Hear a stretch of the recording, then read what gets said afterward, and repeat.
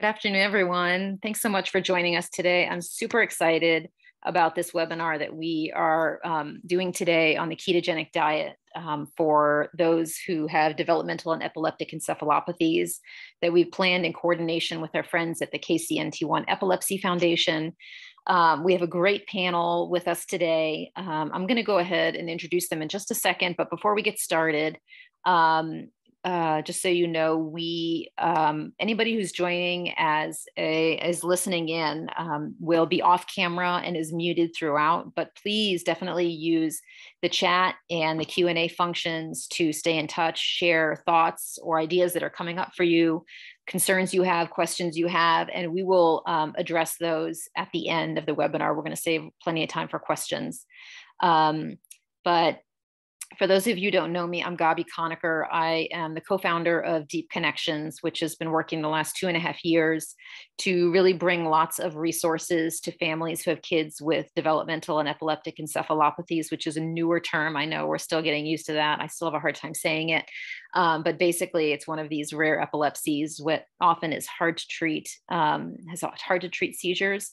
And um, is often accompanied with developmental delays uh, or regression. So that's what brings us here together today. To start, I just want to introduce our panel. We're really, really lucky um, to have two incredible uh, moms with us today to share their journeys with ketogenic diet, and they have different experiences, so you'll learn different things from each of them. Um, Sam McMahon, um, Mac, oh, I always going to get it wrong because I have McMahon. Mac McMahon um, is actually co-founder and vice chairman um, uh, uh, the board uh, for KCNT1 uh, Epilepsy Foundation. She is a corporate executive and proud mother to a KCNT1 warrior. Her passion for supporting other parents is inspired by her daughter Charlotte, who was diagnosed with MPEI, which is migrating partial epilepsy of infancy at nine weeks of age. And since that day, she and her husband, um, they have refused to accept that this would be their daughter's fate and set out to find a treatment. Sam is committed to doing all she can to help not only Charlotte, but the many families who have struggled with, with receiving this devastating diagnosis. So thank you for your leadership there, Sam. Karen uh, Francis and her husband live in Ohio with their three children Brock, who is 11, Jonah, 10, and Mara is three. So Brock has KCNT1 epilepsy. Um, and Karen has a background edu- in education and was a primary general education teacher and special education teacher for over 14 years before leaving to care for Brock. So she brings a really great perspective to this. Uh, she now spends her time caring for Brock and her two other children. Um, she's the primary caregiver and primary teacher. So currently, Brock does most of his learning from home, and they focus on communication skills and other functional skills uh, such as toileting. Um, and she's spent a ton of time learning about keto um, and cooking. So you'll be able to get a sense of um, what it's like to prepare meals for somebody with keto. We're also really, really lucky to have two professionals with us today who are steeped in the world of ketogenic diet. We have Chagalong Chai uh, Phitsanuwong, who is a child neurologist and pediatric epileptologist. He went to medical school uh, at Khon Kaen University in Thailand and received a postgraduate training um, at University College London in the UK. Did his residency in child neurology at the University of Chicago and fellowship in epilepsy at Miami Children's Hospital. So he has been all over the world doing this work. He's currently an assistant professor of pediatrics at the University of Chicago and director of the child neurology residency training program at UChicago Medicine. His academic and research interest is in dietary therapy and epilepsy, epilepsy syndromes, and epilepsy genetics. So you're in very good hands um, with Dr. Pitts Phitsanuwong. We also are really lucky to have a registered dietitian with us. Stephanie is currently registered dietitian at University of Chicago. She received her bachelor's of science from Bradley University and completed her dietetic internship at Ingalls Memorial Hospital. She's been a dietitian for over 10 years and has worked uh, with Dr. Phitsanuwong uh, and ketogenic diet therapies for the past six years. She's passionate about nutrition and helping families succeed on their ketogenic diet journey. In her free time, she enjoys visiting natural national parks with her husband and walking along Lake Michigan with her rescue dog Lincoln. Amazing! I can't wait to hear um, what you guys have to share with us because personally, we went on the ketogenic diet many many years ago. It didn't work out for us, but I know it's a lot um, there are a lot of families that are interested in it and curious about it and eager to learn more. So I'm going to start by uh, welcoming um, Karen to tell us a little bit about her journey with ketogenic diet and share some of her insights. So I think uh, we'll all um, go off camera now and give you the spotlight. Hi, thank you. Thanks for the nice introduction. That was um, appreciative. And I recently found um, your podcasts and your uh, webinars, not podcasts, but webinars, and they've been super helpful. So thank you. Um, my name is Karen. My um, epilepsy warrior is Brock. Brock is 11 years old. He has KCNT1. Um, his diagnosis is ADNFLE, which is actually um, autosomal um, nocturnal frontal lobe epilepsy. But Brock is kind of a unique one in the KCNT1 um, family. He also has migrating seizures, um, and not all of his seizures happen at night.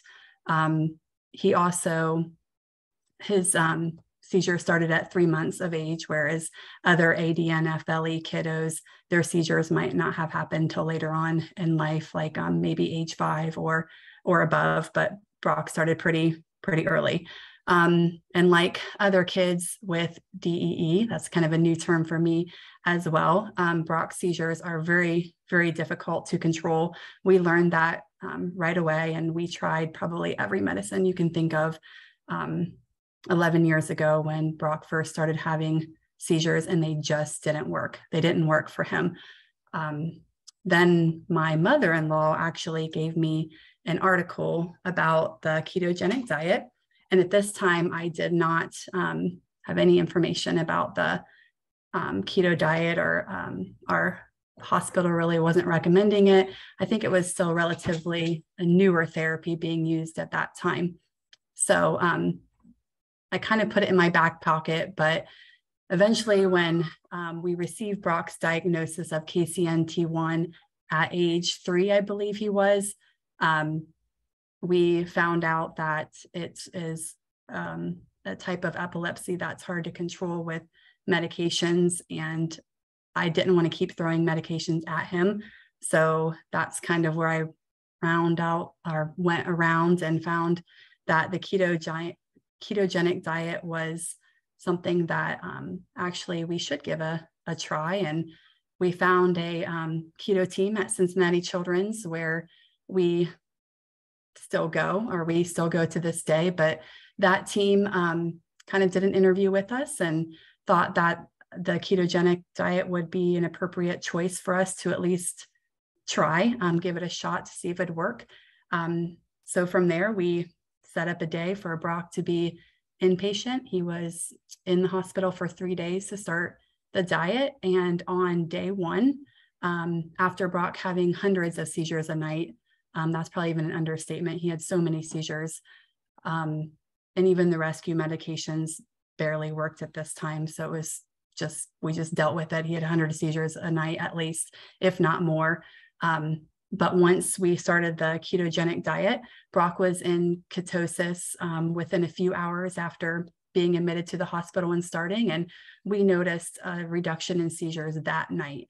So we knew right away that this is probably something that was going to work for Brock. Um, and actually, it was the only thing that ever worked for Brock. And then it just got better from there, to be honest. Um, like I said, this was six years ago, though. Brock's been on the diet for six years. He was seizure free for a little while on the ketogenic diet, and then he started having seizures again. Um, and we kind of went back and forth for years, but then eventually, um, can't exactly pinpoint the difference except for Brock now has a G tube. He has a, a feeding tube, a G tube, and um, he um, his allergies. He has severe allergies, seasonal allergies. Um, those are intact now, like he is, there's under control. He's been taking injections for the last two years for his seasonal allergies. So those are in control. With the combination of those two things, we're able to find um, seizure freedom. And I apologize, I have to stop here for a second. I have a child who is crying. No worries at all, Karen. Uh, no, no, no. We all get it. I mean, uh, you're in very good company here. I am sitting on the floor here next to my kid who was um, screaming. So we all get it. Uh, Sam, Samantha, why don't you come on and share a little bit of your journey? Yeah, absolutely. Hi there, everyone. My name is Samantha MacMechan. Uh, as they said, I am the co-founder and vice chairman of the KCNT1 Epilepsy Foundation. And really what brought me there was my sweet girl, uh, Charlotte Monroe. She's my little KCNT1 warrior.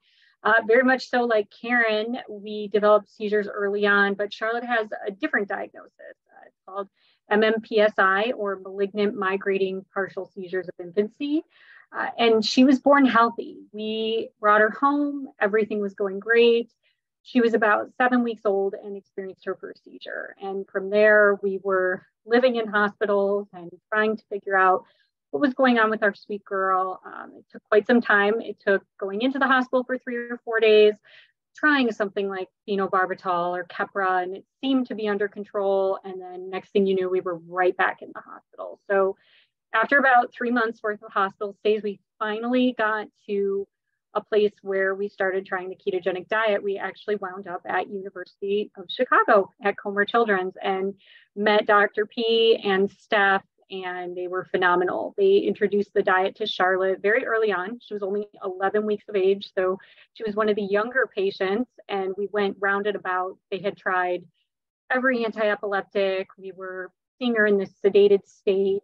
Um, we ended up having to move to an NG tube at the time, which was very challenging for me, as uh, Steph knows. And they really had to talk to me about nutrition and why this was so important for her. And she's our first child. So this was the only experience I had. And I was a new mother. And it was a very trying time in our life. But we decided, hey, we need to do whatever's going to work for our little girl. And with these refractory seizures, which basically meant that none of these anti-epileptics were working for her.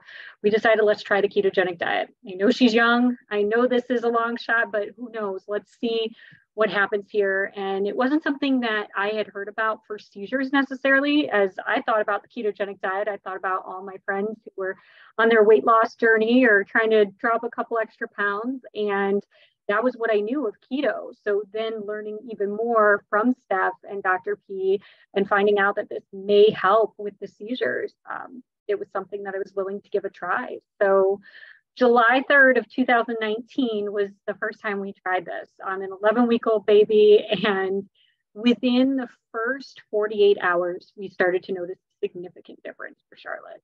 Uh, we started to notice the seizure reduction, the count. She was much more alert and I was quite happy because she was now getting the nutrition that she also needed. So this was one of the only things that was helping to control her seizures. And what we've noticed is over time, now Charlotte's been on the ketogenic diet for well over three years, she's three and a half years old, uh, is that the seizures do stay controlled with the ketogenic diet. And we're allowing Charlotte to grow out of some of the anti epileptic medication. So we have not taken up her phenobarbital or her Keppra. None of these prescri- uh, prescriptions have gone up in dosing. Uh, we've been able to keep that down and really just give her that quality of life that we're looking for for our daughter. It's not to say that we haven't come across challenges, though. There have been a lot of challenges, which the team has been so willing to help us out with.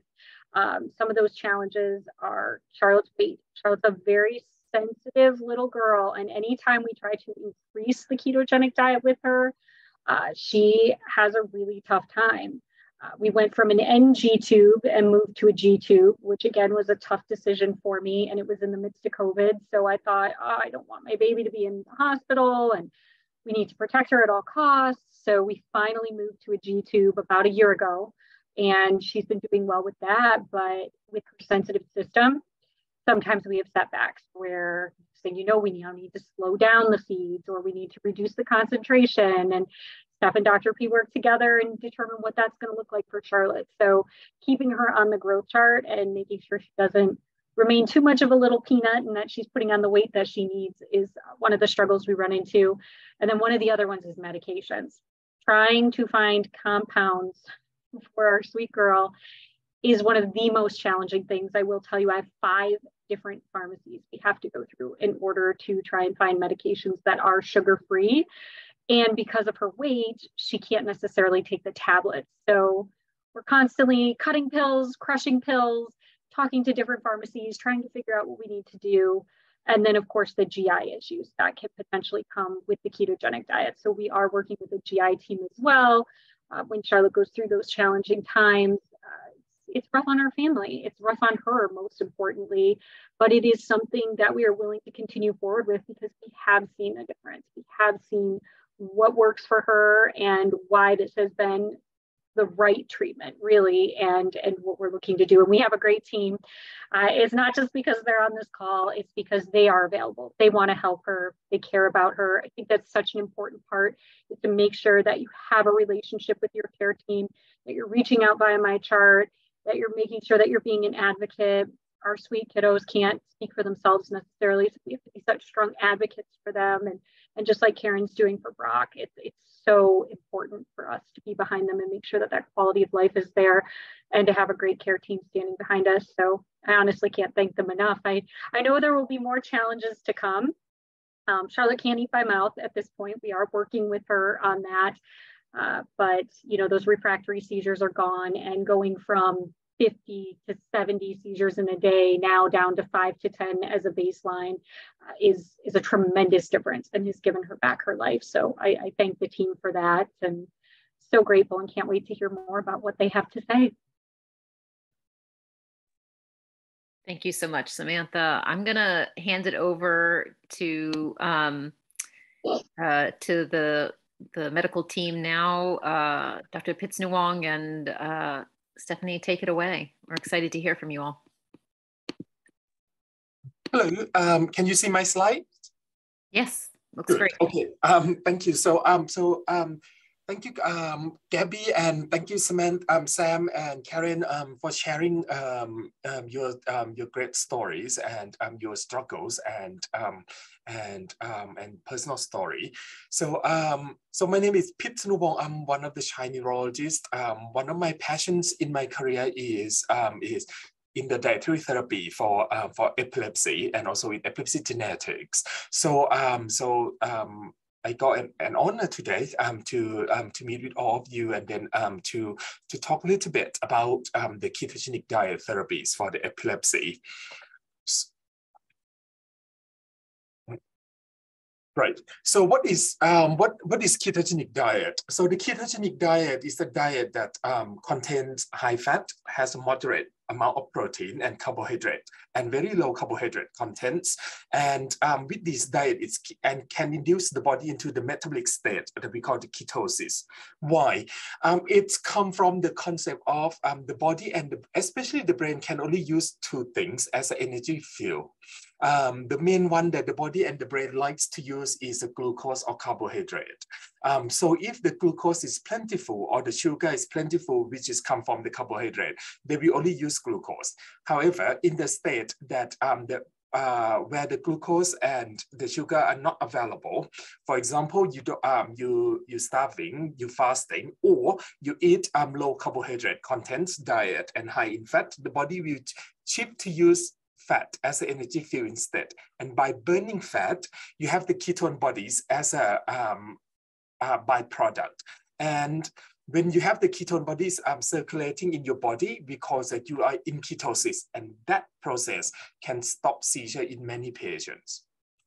So ketogenic diets um, for epilepsy actually is not something that is new. We've been using ketogenic diets to treat epilepsy for more than 100 years, actually 101 years to be precise. Um, it, um, it stems from the concept that this is something that um, in the fasting um, or abstinence from food that might help with, um, with seizure and that knowledge is even precede the biblical time from the, the classical Greek. Uh, however, in 1921, Russell Wilder from Mayo Clinic um, created a diet that high in fat and low carbohydrate. It induced the body to become ketosis. And he found that it helps it, um, to control seizure in many patients. And since then, um, the ketogenic diet um, has been developed um, over time for more than 100 years now. Um, and, um, and we learn more and more about, um, about what the diet entails, how the diet works, and uh, what is as, um, who's good candidates for the diet, what different type of the diets that we can offer to our patients along the way.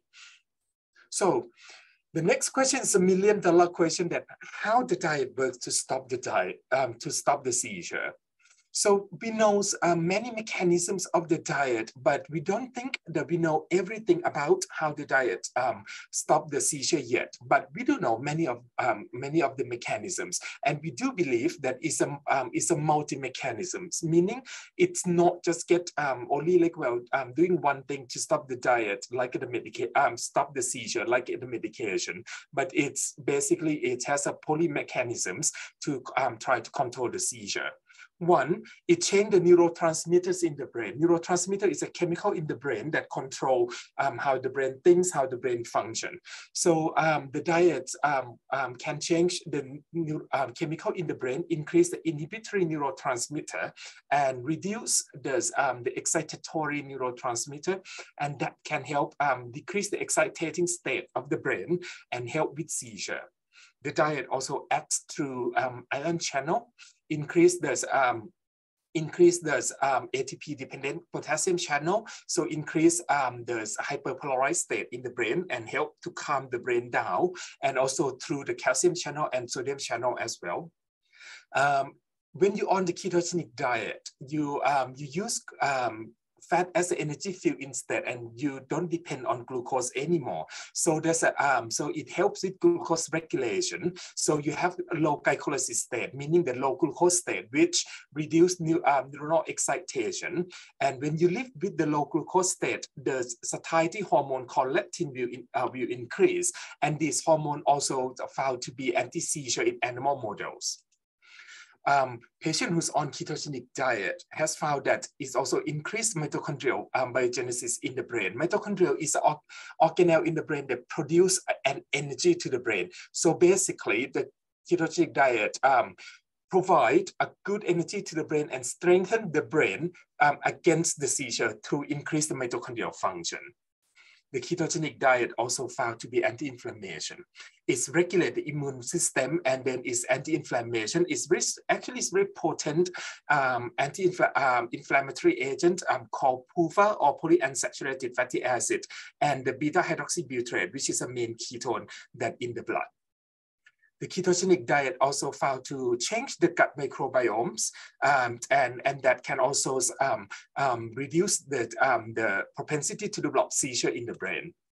And last but not least, um, um, recently we found that ketogenic diet not only has an effect at the time that you're on the diet, but when you're on the diet for a long time, it can change the DNA or the gene itself through the what we call epigenetic level, meaning that the gene that um, may not be expressed before can become expressed. The gene that expressed before can become non-expressed. So this is what we call epigenetic change. And this, um, and this change has been proven at least in animal models already of the ketogenic diet. And all of these combined um, uh, may explain the anti-seizure and maybe anti-epileptogenic um, property of the diet. And it can tell you the all the medications that are available for the seizure right now, um, more than 30s in um, on the market. It's only can um, can do only the, the first two, change the neurotransmitter in the brain and change the ion uh, and then interfere with the ion channel in the brain. But it it lack all others uh, mechanism that the diet can provide. And therefore the diets it's not the same with medication. It works differently. It works in the poly mechanism and change metabolism, metabolic state, and then has this a more broad mechanism to control the seizure than the medications um, can do. That's why when the diet works, you um, most of the time the patient can go off medication because the diet tend to be the one who's doing the heavy lifting. So is that the diet really works? Um, do we have any scientific um, um, support on that or is it all placebo effect? Actually, we do. So in this, um, in medicine, when you want to know that whether any therapy or any treatment that actually works scientifically, we, we have to conduct, conduct what we call randomized control trial, meaning that uh, one arm using the therapy or using the treatment and the, the other arm as a control, not doing it and see that how the, how the difference between both arms. So the diet has been um, done that. The first randomized control trial done in the UK in 2008 found the ketogenic diet indeed has an innate um, properties to stop the seizure and control the seizure.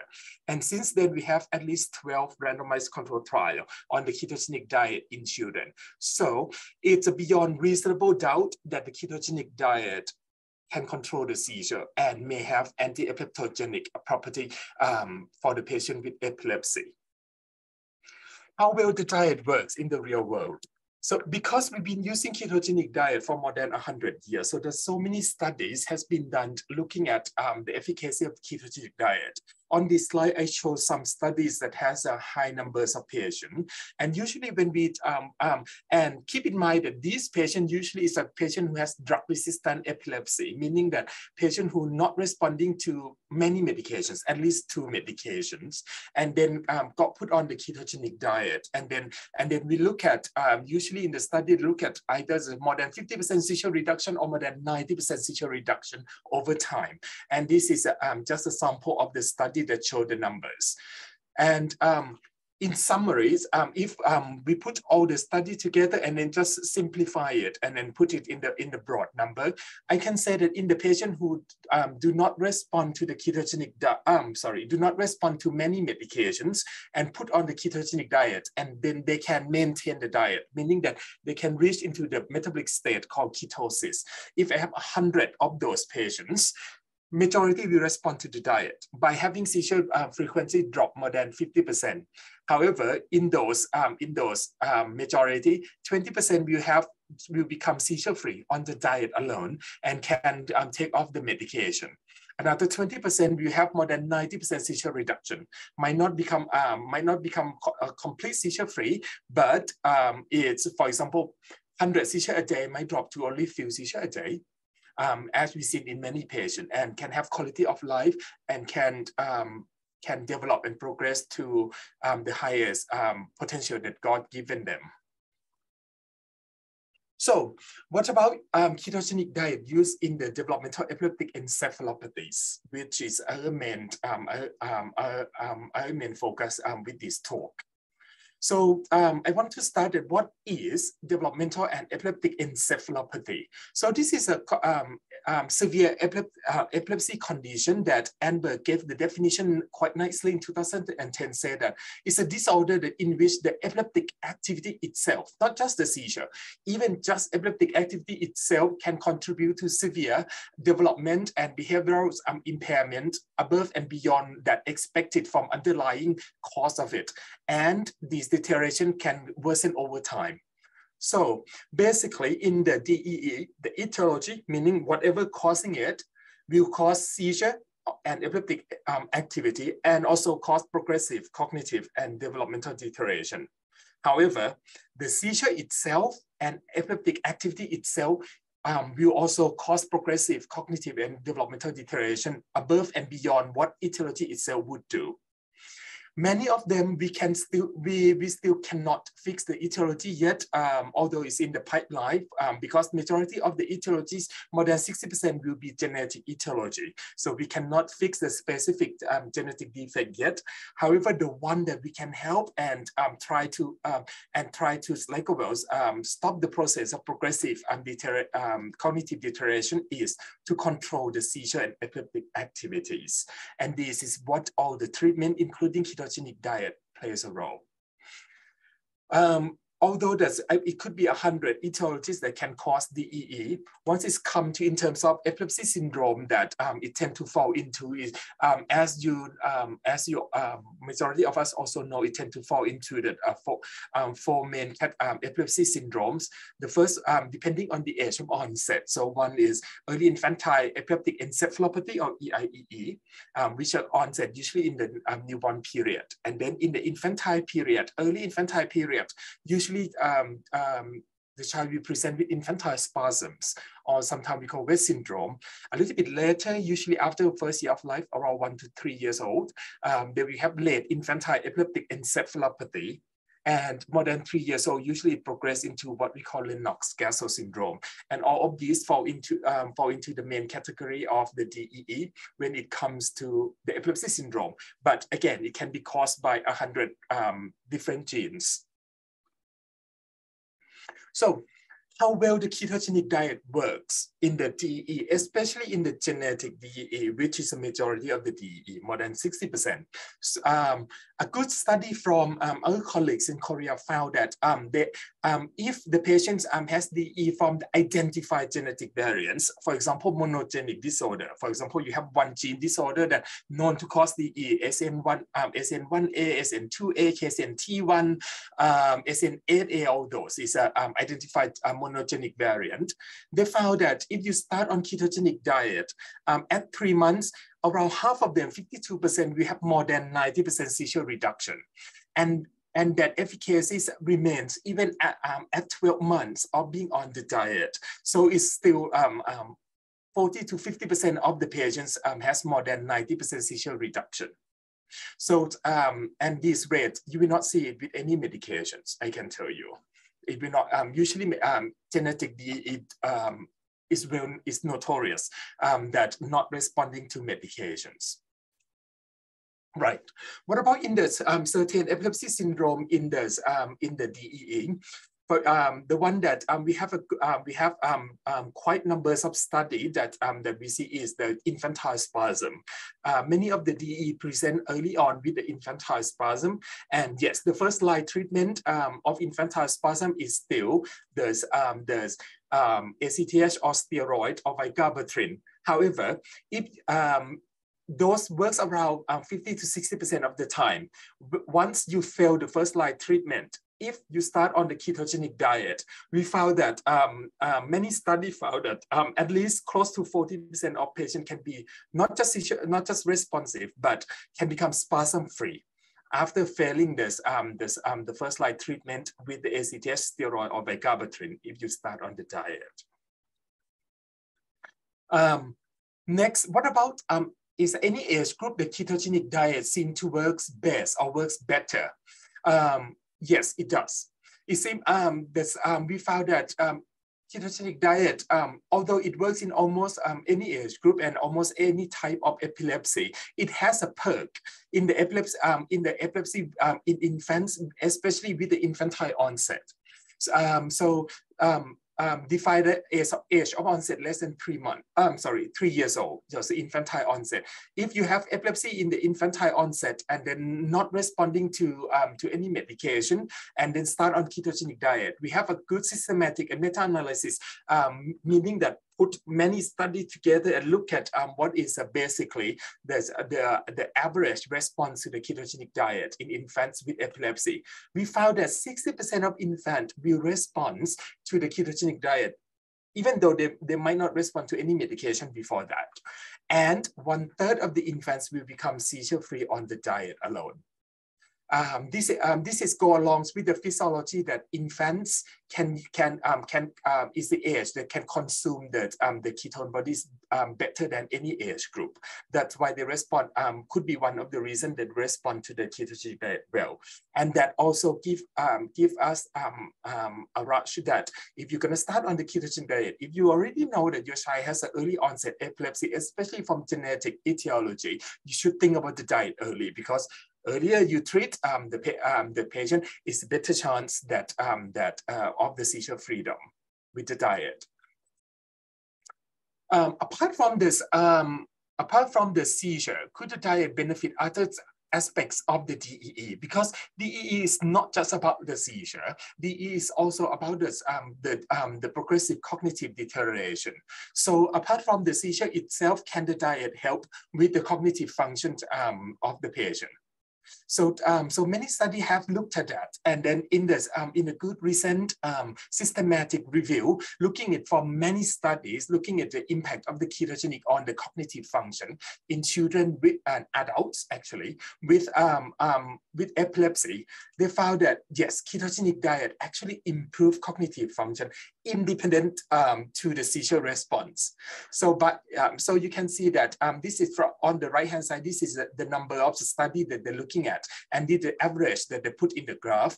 Uh, on the left side is a, um, is a percentage of the patient um, who were cognitively improved uh, on the diet. And they found that in all main aspects of the cognitive function, attention, alertness, concentration, and global cognition, more than half of the, of the patients report, um, report the improvement in the cognitive function on the ketogenic diet, independent to the seizure control. And when they look in the different age group, they found that um, that um, um, that effect remains in any age group, but but uh, most um, but most pronounced in the in children.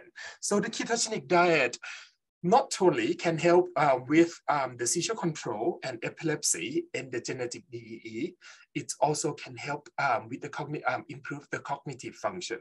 And in my um, in my humble opinion, should be considered early um, and at least give it a try in children with um, with DEE, especially from the from the genetic etiology, but also could be from other etiology as well. And um, I'm going to pass on to, um, to the next part, which is the practical part of, of the what is ketogenic diet is and and um, and and um, what type of is and then how how to monitor and how to do it to um, to my brilliant dietitian um, Stephanie Schimpf. Um, and then I think toward the end uh, we we may meet again for the uh, for the Q and A. Thank you.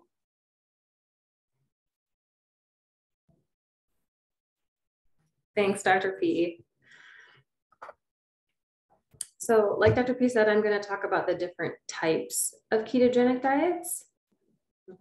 And this is a, a, great chart from the Charlie Foundation, which is an excellent resource for anyone interested in learning more about ketogenic diets. Um, so this shows us that there are roughly five different types of ketogenic diets.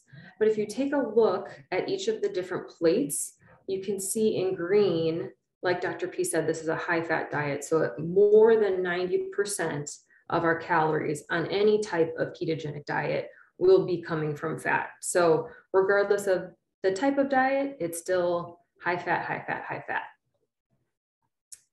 And now I'm gonna focus on two of the more, um, more popular ones or ones that you might be hearing about from uh, your neurologist or dietitian. So the first one I want to focus on is called the classic ketogenic diet. This is uh, the most strict diet out there. So if you ever hear someone talking about a keto ratio, they're most likely talking about the ketogenic diet. So the keto or the classic ketogenic diet. The keto ratio is how we describe the diet. So the first number is the grams of fat, and the second number is the grams of non-fat, so our protein and carbohydrates. So if someone were to say, I'm on the four to one ketogenic diet, that would mean that for every four grams of fat, we have one gram of protein and carbohydrate. So again, highest in fat, it's our lowest diet in carbohydrates. Everything needs to be built in a program um, by the family and the dietitian. So everything is very strict and we're using a gram scale to measure everything that is consumed. For this reason, this diet is started in the hospital. Um, we need to be monitoring um, the initiation process since we are doing the most strict diet, there are potential for side effects. So we wanna be monitoring those in the hospital. And then this gives you a chance to spend time with the dietitian and learn really how to implement this at home and how to build um, families, uh, build snacks and meals um, based on what the family's usually eating at home. And just to get an idea of what the structure of the classic ketogenic diet looks like, um, foods are not typically a four to one ratio or a three to one ratio. We need to create that. And that's why we use a program. It helps us do all that fancy math for us. So typically there's always gonna be a protein. It could be eggs, bacon, hot dogs. Um, we can really work with most foods and then a carbohydrate, usually berries or carrots, broccoli, cauliflower. We always have cream. So our heavy whipping cream, this is gonna be where we get a ton of fat from. Um, and it's usually our, our milk um, if kids are milk drinkers. And then of course, this diet is high in fat. So we need to have extra fat. So butter, mayonnaise, olive oil. Um, even though we have bacon, which is a high fat food, we need to still add some extra fat. So this is roughly what it looks like. Um, and I can show you um, putting everything together, what it looks like in a meal. So this is a screenshot of the program that we use. It's called Keto Diet Calculator. Um, and if you're starting this diet, uh, your dietitian will give you access to this. So we're able to plug in these different foods and we set a ratio goal and a cal calorie goal for each individual patient. And then we're able to change the amount of grams of each of the foods to give the prescribed ratio for each child. This is an example of, you know, we could do scrambled eggs or a, a veggie omelet. On the right-hand side, you can see there's a, a list called Group B. And so this is an option where a family could pick any of these items to make into this omelet. So it gives us a little bit more flexibility with what we have in the house or what we're making for other children or other people in the family. Um, so again, this is just an example of, of kind of throwing that whole ratio together. The next diet that I want to focus on is the modified Atkins diet. So this is a more liberal version of the classic ketogenic diet. We are counting net carbohydrates. So your dietitian would give you a goal that would be for the entire day, and we can't go over that. So they would teach you how to read nutrition labels and how to determine how many carbs are in a food that doesn't have a nutrition label. Um, again, this is a high fat diet. So encouraging fat. I want everything that you eat to be shiny with, with fat, with butter, with sour cream, um, different types of dips. Everything that we eat needs to be with added fat. Instead of a gram scale, like with the classic ketogenic diet, families will use measuring cups and measuring spoons instead. So again, this is not as strict, but it is still a restricted diet. This diet we would start at home. Um, usually in our clinic, we spend time together during our initial visit going over all, all the education materials. And then I send families on their way and they take a look and they work through the diet. And then we follow up with phone calls um, in MyChart messages um, to fine tune things as we're, we're moving forward with this diet. And usually we use this with teens and adults. Um, it can be used with younger children. It really just depends on your dietitian and your neurologist and, and what the, the family dynamics are. Um, so that's always a conversation that you'll have with your providers. I wanted to show some fun recipes from the Charlie Foundation. I know waffles and pancakes are uh, something that you know families want to make sure that we can still incorporate. So um, the Charlie Foundation has some great options, and, and here's just an egg yolk waffle um, and the three ingredients that they use. So it's pretty simple. And then I wanted to have something for spooky season, so some pumpkin spice fat bombs, and this is just butter, coconut oil, cinnamon, and pumpkin puree. Um, and again, the Charlie Foundation is just a, a great resource for some ideas and inspiration. Next, I, I, thought that it would be helpful to go through the, the questions that we most commonly see in clinic. Um, I know that there is time for questions after this too, but just wanted to, to get things started. So I would say one of the most common questions I get is about if your child will lose or gain weight on keto. Um, everything is calculated by a dietitian regardless of what diet you are on. Um, and if you think about again, we are making sure that most of our calories are coming from fat, and then we're taking away those calories from carbohydrates. So usually in the beginning, we're getting pretty similar to what the child ate or drank prior to keto. We're just changing the types of food. But everyone is different. And so it's really important to have regular follow up and communication with your team um, and that your child's growth is monitored at regular intervals and making sure that we're not gaining too much or losing too much. And if that is the case, the dietitian will, you know, reevaluate everything and see, you know, maybe that just a simple calorie adjustment is needed. So another question is if my child only gets formula, whether it's consumed orally or through a feeding tube. Um, G tubes or J tubes. A lot of these different products make things a bit easier for families. Um, even if it's just a, a, simple shake that a child would have throughout the day. Um, there's a bunch of different products um, from different ma manufacturers that allows um, a child who's only getting formula to still explore um, ketogenic diet as a type of therapy. Another question for our, our families that have infants, uh, you know, if I'm, I'm, breastfeeding, how can we do the ketogenic diet? So it is possible. Um, the dietitian would just need to calculate how much breast milk a child is getting um, and use the keto formula to create a specific keto ratio based on that patient's needs. And that can be happening with express breast milk, or if a mother is wanting to continue to breastfeed, um, that can also be either supplemented before a nursing session with formula or following up afterwards with a bottle. Keto and, and is it healthy? Um, and Sam had mentioned this in the beginning, you know, the first thing that she had heard about keto was for weight loss. Um, we are using keto as a medical diet. Um, it is not adequate in vitamins and minerals. If you think about, we are taking away fortified grains and a lot of fruits and vegetables. So we're not going to get everything that we need to get if we were just eating a diet regularly. Um, so nutritional deficiencies can occur. So that is really important for us to be monitoring and having close follow up with children to make sure that these are not slipping through. So there are side effects, um, as with any type of medical treatment, but that's again the importance of having a team that you can follow with closely. Um, some of the more common side effects that we see are constipation, reflux, kidney stones, and acidosis.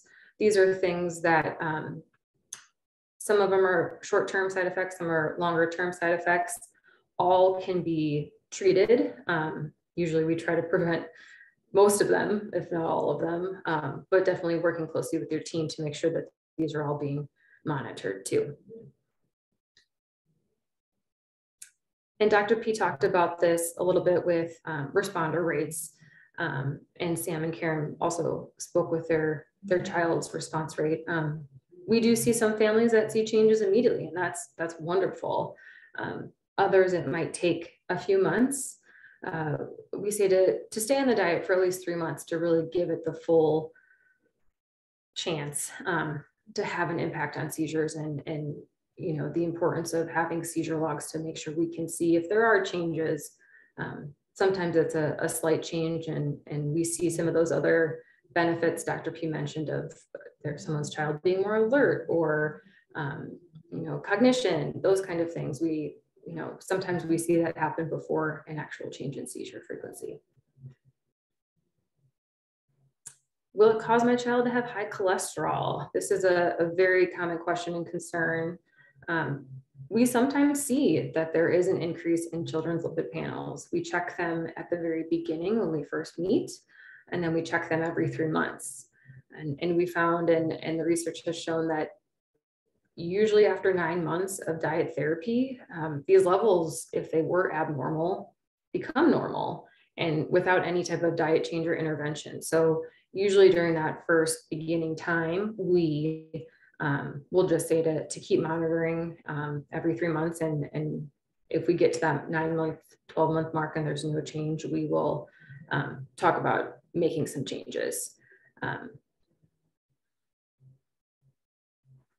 what if my child can't get into ketosis? So this is a, a good question and making sure we understand that being in ketosis is really important to be a part of this diet and getting all those great benefits that Dr. P mentioned in the beginning. So um, it's hard to say that the diet's not working if we never get into ketosis. So um, the dietitian, um, myself, I usually will ask families who are on my Atkins to fill out a food log so that I can take a look at all the details and everything that their child's eating and drinking and seeing if something is jumping out on me.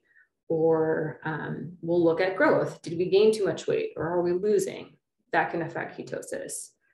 Are we cheating even indirectly. Um, maybe we got a keto product that the manufacturer suddenly changed the ingredients.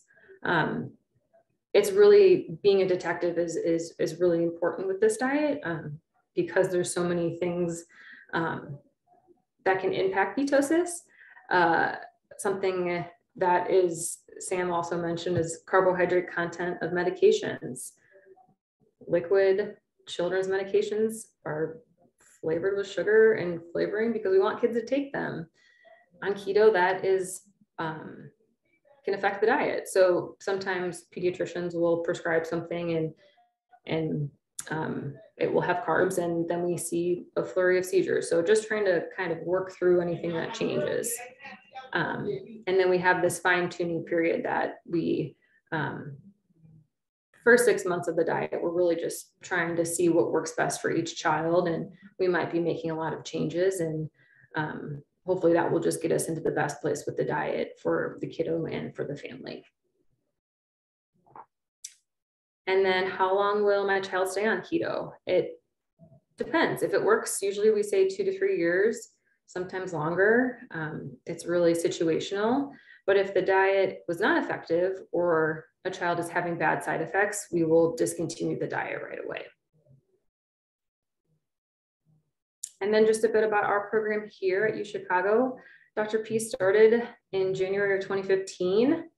We are the only program that serves all ages. So we have infants, we have adults, we've had 70 year olds, um, all over the board. And we typically are offering the classic ketogenic diet, modified Atkins, and the MCT diet. We've served over 160 patients, um, and we have this great multidisciplinary team. Um, I'm so honored and grateful to work with Dr. P. He's such a, a wonderful neurologist and is so passionate about this diet. Um, and we have a nurse practitioner, a nurse, pharmacist, social worker. It's really just a, a great group of people who really are here to support and help um, families on this journey.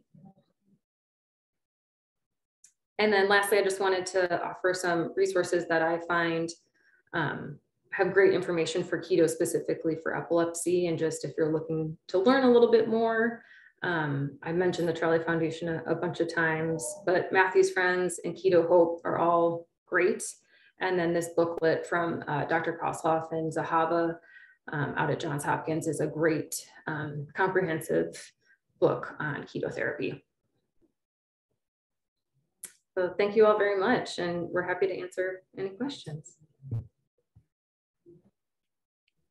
Wow, that was a ton of really fantastic information. I am really excited about this being a resource for the community because um, you guys really covered a lot of ground. I want to invite Sam and Karen to come back too and have them just share any reactions that they had that came up maybe while Dr. P and Stephanie were talking, that it brought up something for you about a challenge or how you manage. Um, just any thoughts? Yeah, absolutely. I mean, for me, when Steph said you have to you have to investigate, she's not kidding.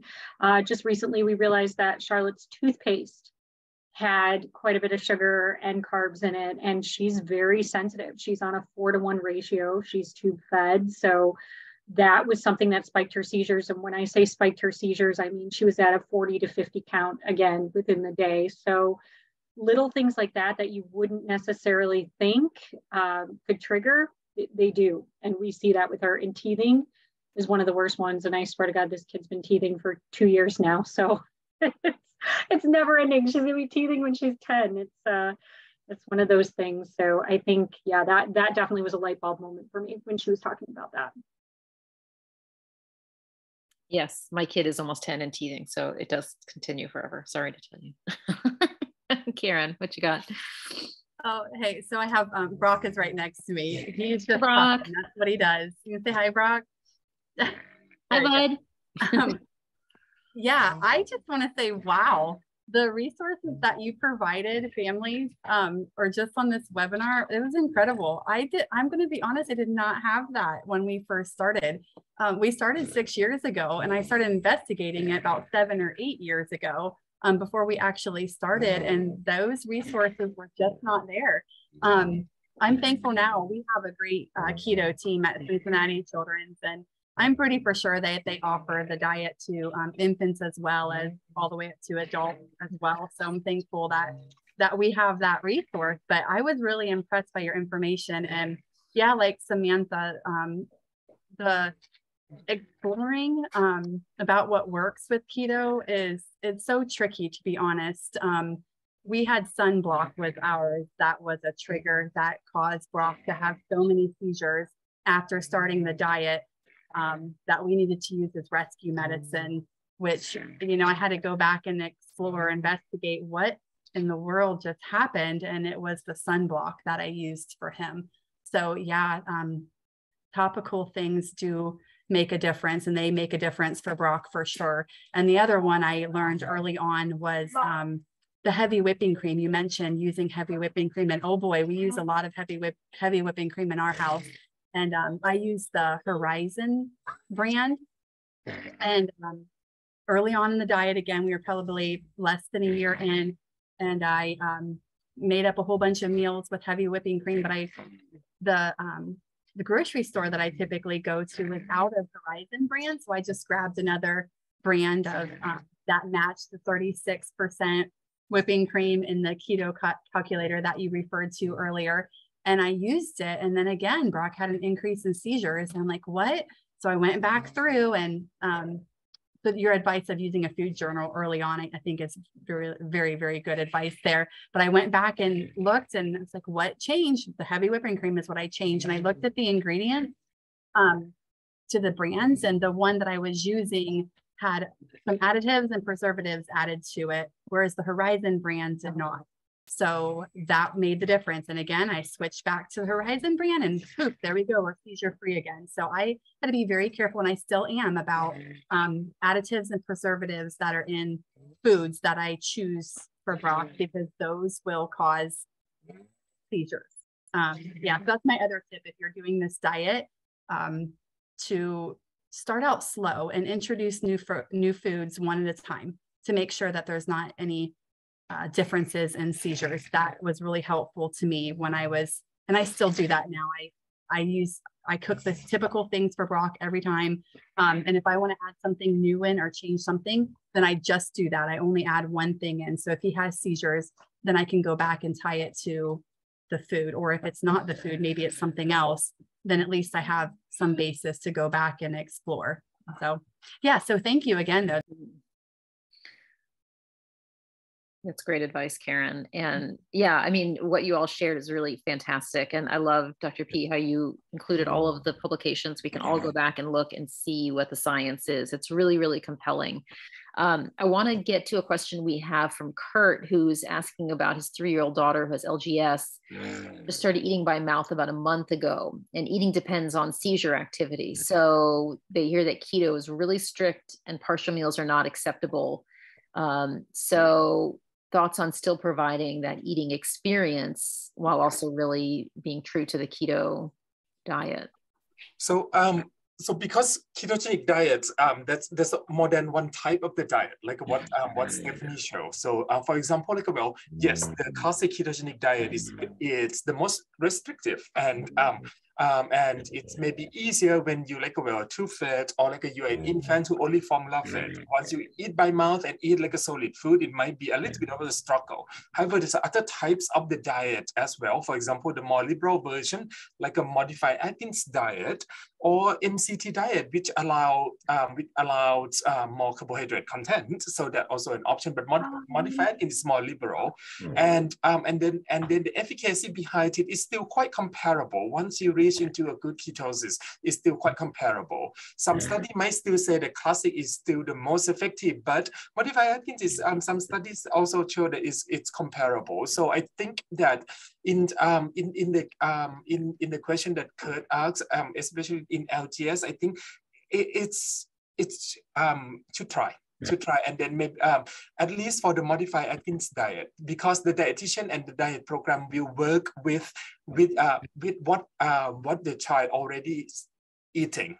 And then and then like okay this is what he or she is usually eating how how, how many carbs in it. Let's try to get carb um, off it and this is a quota of the carb per day. Let's incorporate fat into it, and that become modified Atkins. So that that what we we uh, we would recommend. But again, that um, I know that the diet is um, it's not easy and not simple. So to have a good team that to um, like a well with you to help you through the way, especially in the beginning, I think is very essential. And um, and I'm not sure that where's Kurt Bears um, is a um, is. City's in New Hampshire. Uh, I'm not sure about New Hampshire. Boston uh, Children's might be the yes. Closest. Boston might be the the the um the um the closest. Boston has a lots of good program. Boston Children has a one uh, very large program. Um, Mass General MGH with Elizabeth, Elizabeth Field, one of my friends, um, also a good program as well. So yeah, so Boston might be the closest. What I yeah yeah. In the beginning, at least you will um you you need a good team. And then after that, someone who you can like bounce the question or the or the struggle um, like along the way. Yeah, in, yeah, uh, yeah. Yeah, that is critical. Anything to add? I think working to with a dietitian, depending on, you know, we have some kids who are primarily getting nutrition with formula and having, you know, either certain snacks that we've built if they're on the classic ketogenic diet that are just for working with a speech pathologist or you know based on how much your child would be eating we could build something that was a ratio for that small amount i mean it's the really cool thing about this diet is it is so individualized that we can really create what families need um, and want. And of course, if, if feeding therapy and eating is is important and, and joyful, that's definitely what we you know, want to make work. Yeah, and I think um, I wonder too, based on the research, why we don't see ketogenic diet being referred diet being referred more. Is it because there just aren't as many great programs out there, like that can really? Because I know we did it, and it was when a program was just starting, and it was not great because they didn't have all of the resources in place, people around to answer questions because you really do need a team that is available when you're doing this. Yes definitely. And and that um and and I, I, share the same feeling that you have but um, um i think that the, the issue is um so basically statistically speaking the us has the most diet program in the world already and only 35 states has it. So 15 states in the country which is how many percent that is? Almost like a 30% of the country for the whole state doesn't even have anybody who can do ketogenic diet for epilepsy because the number is only 35 states so far. And um, this is, um, and like you said that um, the diet works, works really well. Why it's not um, is not utilized to the full um, um, benefit of potential. It's a couple of things. One, even the neuro, not all neurologists know how to do the ketogenic diet. Even pediatric epileptologists, not all of us is comfortable with it because it's not even in the curriculum in our training the same with um, nutritionists and dietitians. Stephanie told me that it's not also is also not in um, in the um, in the curriculum. So so it's it's so without the without the knowledge how to do it, it's hard for people to like take it up and do it. And the diet, like Stephanie showed that it, it, it takes a village to help the child. It's, it takes a neurologist, a dietitian as a core, and also you need a nurse practitioner, um, at least nurses, pharmacists, social workers, so the whole, um, the, the whole team. So it, it really needs investment from the, from the hospital and from the program.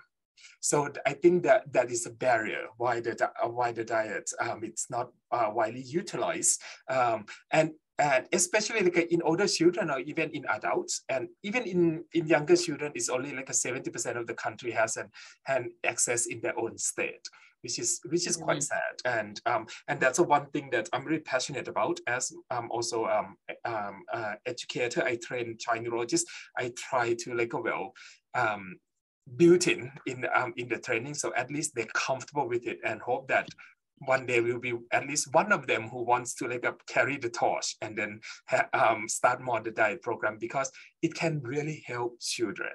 Yeah. Yeah.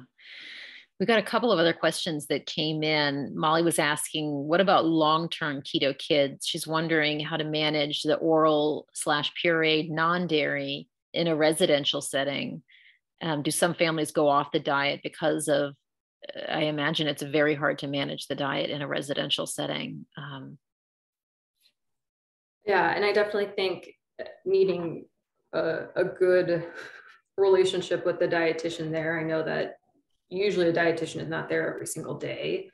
Um, but whoever the keto dietitian is trying to come up with a plan with the family of um, pretty straightforward things that they could make. And then if if um, there's specific challenges i mean the dietitian whoever is at the, the facility needing to just have good communication i think is key. Um, it's kind of similar to if someone was getting lunch at school you know sometimes i will be working with um, the directors at schools uh, to have specific types of foods available. Um, so it might just be a little bit more communication which i know is not always the easiest thing. Mm. yeah it's challenging. And she also asked if there's any um, keto teams in south southern wisconsin that you know of for adults. Um, for specifically for adults, um, I know that University of Wisconsin, but it's not in the southern, it's in Madison. So has a has an adult neurologist who interested to do ketogenic diet, and I think that she just started. But that's in the northern um, northern Wisconsin, southern Wisconsin. If it's close to Illinois, I think maybe Chicago is is the closest because Chicago has three adult program one uh, one at Rutgers University, one at um, Northwestern that just opened, and then with us. So so mm-hmm. three adults program in Chicago and two pediatric program yes in Chicago. But right. in uh, in Wisconsin, I think there's only one adult one new adult program at Madison. Yeah. And Dr. P, is there a place that lists where there are keto programs available? Okay, we'll yeah. so, we'll get that from you. Um, it's through Charlie Foundation. Step um, oh, we can okay. we can send you the link um, so you can right. put it on the website as well. So we can. Uh, I'm not sure how updated it is because when I went to look at it, some program that I know that now they don't, they're not doing it. It's still the name on there. Yeah. So I okay. just so, so I'm not sure how updated, but there's a link. Yeah. That's great. And there's usually contact information for each of those centers on that site too. Oh, great. So people can do some investigating. That's great. Um, so I know we talked a little bit about some nutritional deficiency that might happen. Um, somebody asked if magnesium deficiency can be caused by keto diet. I don't know if there are specific reasons why that would be. Um, not that specific. The ones that we know that, um, um, let me um, backpedal a little, a little bit. Yes, the diets don't have um, adequate mineral and vitamin. However, most of the program will, um, will supplement those. Um, when the patient go on diet, we will give multivitamin supplement. Um, we will check the um, the um, the mineral and vitamin in every blood test to make sure that you don't um, you don't run into the to the point of deficiency, and then and then adjust the supplement. Certain vitamin and supplements are more commonly to to become low if you do not supplement it. for example, vitamin D, selenium, zinc, that's uh, more commonly that to become low. Then um, and uh, magnesium it's not that common. Um, I haven't run in run run into one um, so um, so far. Um, yes, Stephanie, have you seen anybody with hypomagnesemia? We haven't seen a, a, a low level, but if thinking about the food sources that magnesium would be coming from, grains and and mm. some of the vegetables, I it makes sense. Um, it, it might not translate to a low level. Um, and I just offhand know some families who start um, uh, have started magnesium supplements and have seen improvement. So I don't know if, if that question is coming from if they had started a, a, supplement and saw um, some improvement.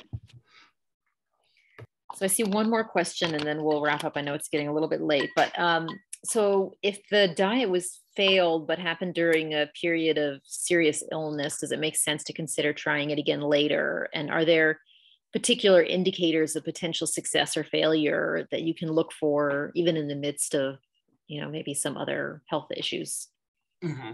So, um, so for the first question that if they fail during serious illness, I would say that um, to try to restart it again because during the serious um, during the illness in any epileptic patient, patient with epilepsy, um, the seizure threshold will go down. So, so the seizure can come out more. Even with the good control seizure, seizure if you patient with epilepsy, you have the tendency that seizure might break through during illness to start with. Mm. So, um, so, so if the diet usually works, but um, but it um, lost efficacy during illness, it's fine. You um you get over the illness, um, taking care of those acute illness and everything, and then reinitiate the diet. Yes, I, yes, because and I, I wouldn't call it diet failure. It's more just like a it's a it's a rainy day when you have that when you have serious illness. It's a rainy day. Anything can happen during that day. You just have to get through it first.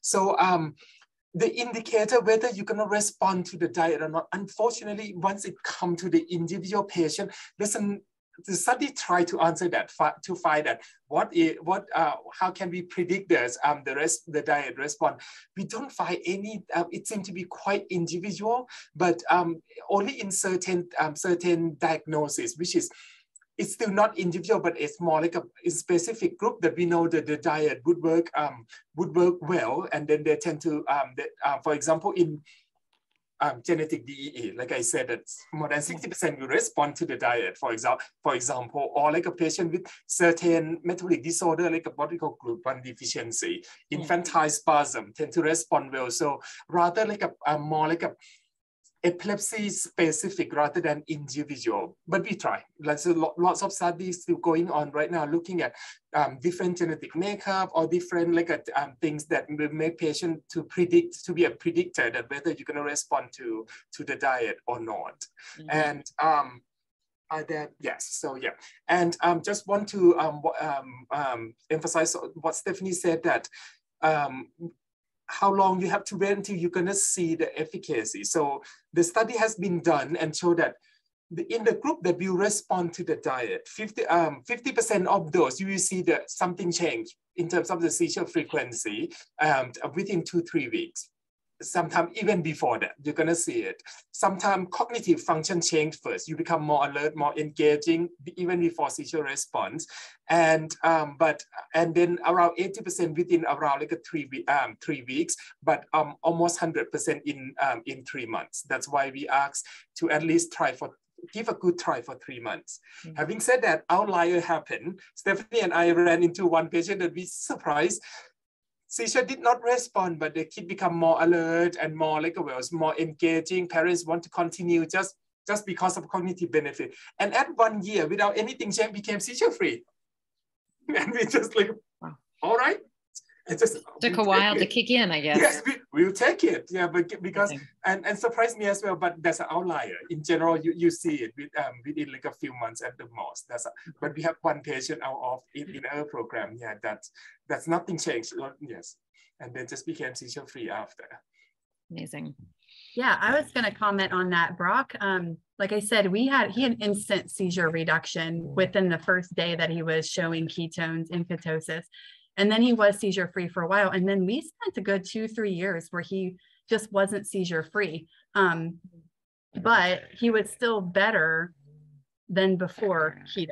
So we decided as a family to keep going with it and keep trying. Um, but then for whatever reason, I think it might be KCNT1. I think it's that the culprit here, but he stopped swallowing and stopped even chewing. It was the most interesting thing. I have no idea why. Um, we still don't really know why, but so two years ago, then we decided, well, we had to give him a G tube at that time because he was losing weight. He wasn't eating. I mean, you know, with the keto, you have to eat everything that's in your meal plan or it just doesn't work. So he wasn't even eating everything in his meal plan. So then seizures started getting worse.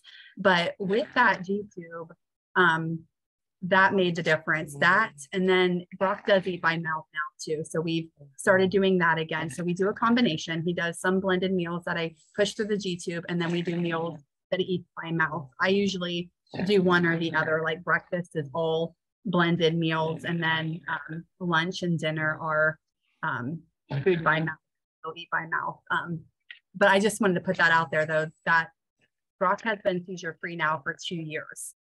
So we did have this two, three year period where he just wasn't. I didn't know what was going on, but now, um, but like I said, I think allergies had something to do with that too. We just couldn't keep his blood sugar in control when his allergies were out of control. So now that we have those in control and um, the G tube to ensure that he's getting all of his food, um, and on those days that he's sick or doesn't want to eat, um, or if he has tooth problems, like I know Samantha said her daughter is always teething. Well, I always feel like Brock, Brock also is still at 11 years old is still having all these tooth problems, like teeth are still falling out. So, um, mm-hmm. but there's things that happen. I'm like, why is he not eating?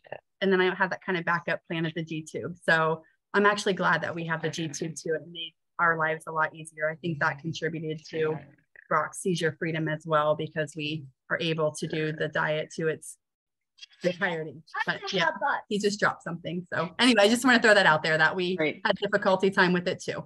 Mm-hmm. Yeah, no, incredible. Well, I think we'll wrap it up there, even though I think we could probably keep talking for a really long time because this topic has a lot of um, ins and outs and, and details that we can um, keep honing in on. But this has been an incredible discussion. Thank you so much to Samantha and Karen for sharing your experiences. It's really wonderful to hear, and lots of good clues from you all who you have to be detectives, we know, when you're um, living this life. So thank you for sharing that. And Dr. P and Stephanie, uh, really amazing information. I can't wait to put this up on the um, Resource Center for families to, to continue to find and learn from. So thank you all so much. Take care, and we'll see you uh, next time. Take care, everyone.